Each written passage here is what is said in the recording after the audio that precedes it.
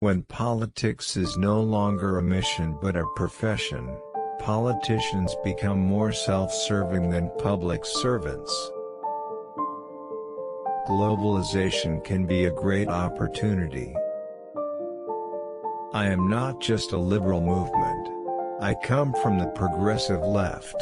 I am trying to refresh and counter the system. Long live the Republic, long live France.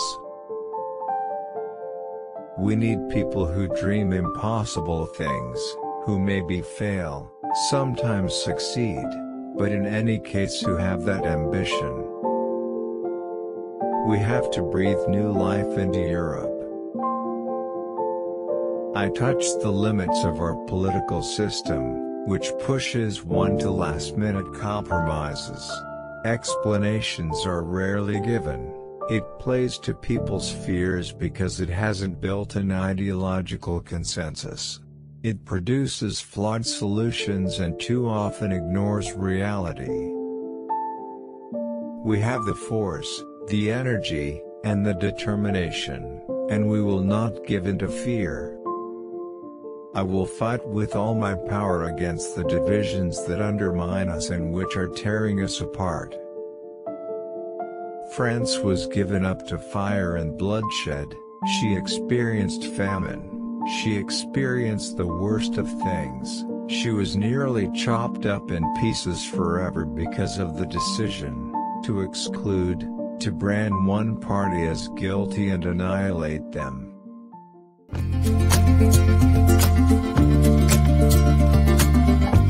Sovereignty is not just at the national level. That's the mistake of Brexit that other people make. We need to restore democracy and sovereignty in Europe. You can block a marriage, but you cannot force a marriage. To create greater convergence, we need more integration. Modernity is disruptive, and I endorse that. We ask our companies to restructure, we ask employees to work more for less money because there is overproduction, but then we're unable to defend them from cheaper Chinese imports. We are insane. What we need is much more flexibility for the labor markets.